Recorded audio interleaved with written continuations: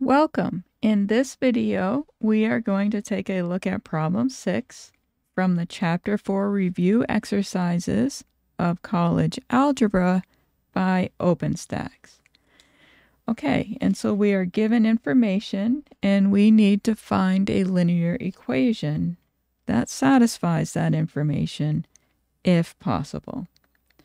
Okay, so we have an x-intercept. Let's call those coordinates x1, y1. And we have the y-intercept. We'll call that x2, y2. Okay, so let's start by finding the slope. So slope m is y2 minus y1 over x2 minus x1. So slope m is going to be 10 minus 0 over 0 minus 6. So slope m is 10 over minus 6.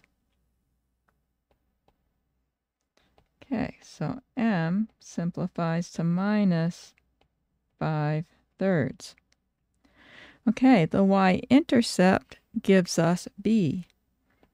And so b is equal to 10. And now the slope-intercept form is y equals mx plus b. And so we have y is minus 5 thirds x plus 10.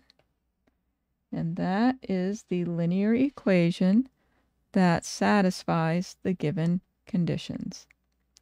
I hope you found that helpful and informative. Thank you for watching.